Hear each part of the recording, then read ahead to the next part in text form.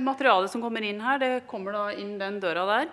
Og når det er, eh, kommer materiale med, som har mugg eller fuktskader, så tar vi det da rett inn på muggavdelingen her.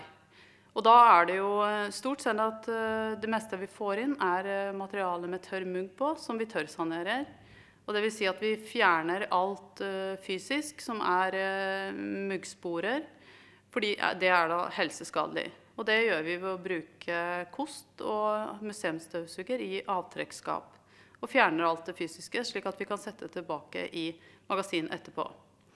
Eh, når det gjelder fuktskademateriale, så eh, Det meste er heldigvis ikke fuktskad. Men vi har fått inn det, og det vi måtte gjøre da, er å pakke det i en fryser i mindre porsjoner som er håndterbare i mengde ta, så, sånn at vi kan ta det inn i avtrykksskap og tørke det i løpet av en dag. Um, det som skjer når vi legger det i fryseren, er jo at uh, muggsopp i vekst den stopper da opp. Denne prosessen stopper opp, uh, og det blir ikke verre av å ligge i frysen. Uh, så det som de står og, og, tørker og sanerer og renser her, da, det er jo da små pakker som er tatt ut av frysen. Da legger vi det gjerne i i avtrekksskapet på um, morgenen. Så får de ligge der litt, og så begynner det å tørke. Fordi de våte papirene de er såpass skjøre, og så fort man tar i det, så går det i oppløsning. Så det blir avhengig av å få, det, uh, få i gang tørkeprosessen litt før vi kan begynne å løfte de øverste dokumentene av, ut av bunken.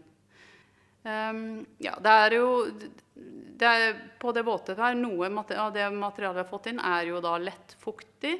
Og da går det ganske greit å tørke det. Tørker, det er ikke store mengder vann i det, så, men det er fuktig. Men det går ganske fort å tørke det. Eh, mens eh, vi ser vel noen av de andre ytterlighetene her, hvor materialet som har vært ordentlig vannskadd, eh, og såpass angrepet av mugg at papiret har begynt å gå i oppløsning. Det tar jo da naturlig nok eh, mye lengre tid å få både å få tørke det. Det er mer vann i det. Og det er skjørere, sånn at vi må være mye mer forsiktige når man tar det fra hverandre. Og noe Det er kanskje noen huller, altså fysiske huller i materialet som gjør at noe dokumentasjon, noen opplysninger kan være tapt. Men i det store og hele så er jo de aller fleste dokumentene i såpass bra stand at man får et godt bilde av hva denne saksbehandlingen har handlet om.